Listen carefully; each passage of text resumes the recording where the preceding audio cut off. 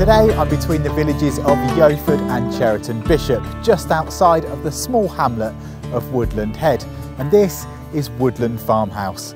It's a beautiful detached thatched property with three double bedrooms, a study and some lovely open plan living spaces to the ground floor. There's also this amazing, pretty spectacular south facing garden to the front.